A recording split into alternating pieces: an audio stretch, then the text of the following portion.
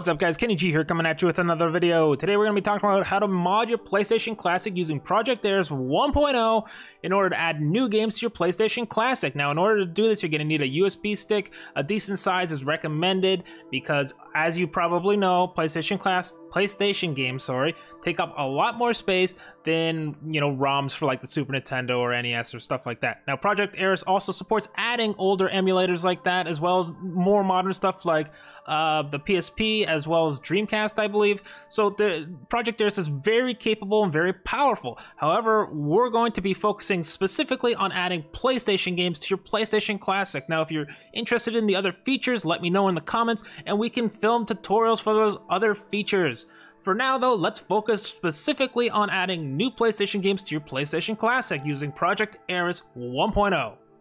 Now the first thing you're going to do is head over to modmyclassic.com and download Project Eris 1.0 using these files. There's going to be two files you need. Specifically, you're going to need the 1.0 package as well as the desktop application. Make sure you download both and extract them to whatever folder works for you. And then let's move on to the next step. Now the next step is we need to format our USB stick and set it to exFAT. As well, you should name your USB stick Sony in all capital letters. Next, we're gonna head over to wherever we extracted the files in the previous step, and we're going to go into the folder Project Eris 1.0. Specifically, we're gonna grab the three folders there. There's gonna be one with a long string of letters and numbers, as well as Project Eris and a folder called ROMs. Copy all three to your freshly formatted USB stick. Okay guys, so the files are copied over, so now all we gotta do is disconnect our USB stick from our computer and plug it into the second port on your PlayStation Classic. Next, let's jump over to our PlayStation Classic. This is it booting up. We've got the USB stick in port 2, and it's just booting up. Now, if you've done everything correctly, it's going to show Project Eris, and it's going to go through a whole bunch of steps. This is going to take a few minutes, so I'm speeding up the process here. It does not go this quick. Trust me, it's going to take you probably at least five minutes, I'm guessing, or longer to go through all these steps. Of course, like I said, I sped it up using the magic of editing. Okay, so the next thing you're gonna do is turn off your PlayStation Classic and remove the USB stick and plug it back into your PC. Next, we're gonna go over and fire up the application. That's the other file you downloaded from Project Eris. Now we're gonna go over and hit the plus symbol at the top of the screen. Now this is gonna pop up this window, but we don't need this just yet. It's a bit weird that pops up, but don't worry about that. Close it, hit add file here on the on the application, and we're gonna navigate to where we got the disc. Specifically, I'm adding Policenauts. If you got a multi-disc game, add add the discs all at the same time. Once the discs are added, the, the progress meters on the right will disappear and we're gonna have our files. Now before we go any further, we're gonna get the box art and the title for the game. So go click this button in the bottom of the application. Here we're gonna do, use the search function to search for the game we're adding. So here I'm typing in Policenauts, I'm searching, and there you see all the results. Double click the title, now it's gonna bring up all the information for the game. You're going to click the arrow here and it's going to auto fill in the fields there. As well as we're going to click this other button here to bring over the thumbnail. Now you're going to click save. There's two save buttons there and you want to save both in order to save the image as well as the metadata for the game. Now if you go back, now you can see there are four files uh, here in this area. Now we need to rename the disks to line up with the basically the disk IDs. Now these are the IDs that Sony uses to uh, refer to the disks. So usually they're like SLUS or or other other variations of that depending on the region.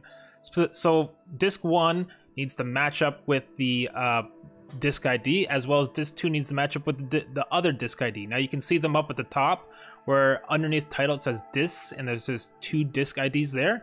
So specifically you want to name them that. In this case I'm using ISO files but you can also use PBP files and BIN/CUE files with ISOs, you have to rename them to .img. Uh, IMG and ISO are basically the same file format. I added ISO files, but yeah, like I was saying, you can also add bin and uh, PBP files. So here I am renaming the uh, files to make sure they line up with the uh, ones listed at the top of the screen where it says disks and it has two SLUS IDs.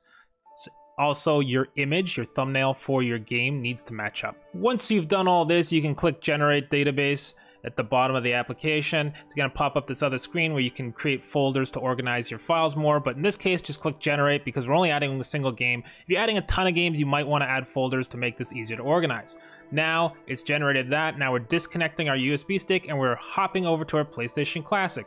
Again, I've plugged the USB stick back into port 2. Now you can see Project Eris is booting up here. This is the first time with, uh, with a fresh game. Now you can see the, the boot up screen is a little different. We're just going to select Project Eris. The other options were uh, Emulation Station and RetroArch. We don't need to worry about those for now. That's if you want to add like emulators. There's a lot, like I said, there's a lot of power in this application. Now we're just going to scroll over and find our game. We added Policenauts, which is a Japanese translated game. So this is a game that never even came out in North America, except for some fans translated the game and allowed us to now play the game. So this is an awesome way for us to be able to play these types of games, as well as games maybe you never got the chance to, or games that uh, maybe you own but no longer work for whatever reason, right? Disk rot and all that jazz. So anyways, guys, that is basically it on how to add games. Let me know what you thought. I tried to get through this as fast as possible, make it as simple as possible, because things can be a little tricky if you don't know exactly what to do. So let me know what you think of this tutorial in the comments below.